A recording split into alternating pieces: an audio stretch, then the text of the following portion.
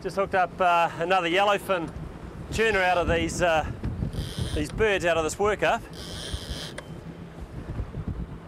And uh, when Chris gets back after he's cleared the rest of some of this gear, we'll have a wee chat about technique. This is stand up, the other system with the big chair, the nice comfy thing, the, the lounge suite variety.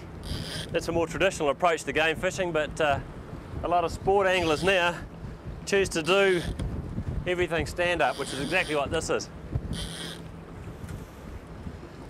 Makes you feel as though you're uh, doing your fishing aerobics.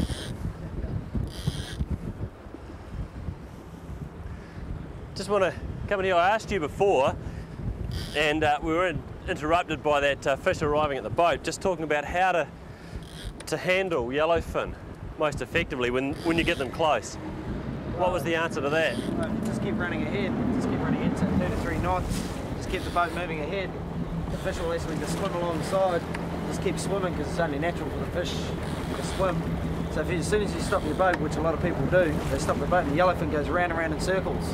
And that's where it twists the hooks, pulls the hooks out like that, or it gets cut off on the boat. So if you can keep your boat moving ahead, you just keep the fish swimming straight ahead and you just lead it up gently alongside. Okay. Whichever technique you use, you've got to keep uh, your rod tip pointing at the line angle. Hopefully, as you'll see, when uh, we hook that uh, elusive marlin, sometimes the fish will come up jumping over here and your line angle's out here. You always point the rod at the, the line angle.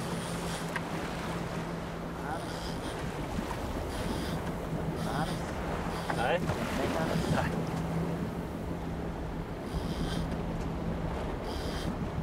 The other little piece of information too is that this is 30 pound line and uh, the other fish was on uh, 50 pound. Or this is 15 kilo, sorry. And the other is 24.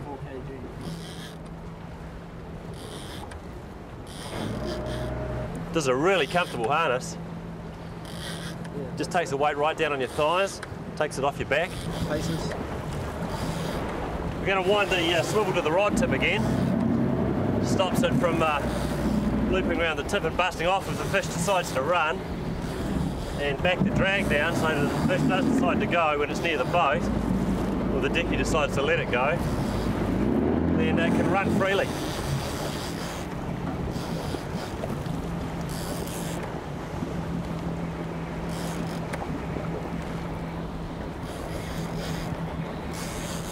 Oh, good swell.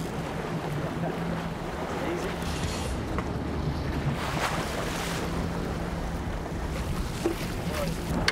Good fun. Woohoo! Whoa, that's a good fin. That's a good fin on 15, mate. That's a beauty. Woo! Get the club.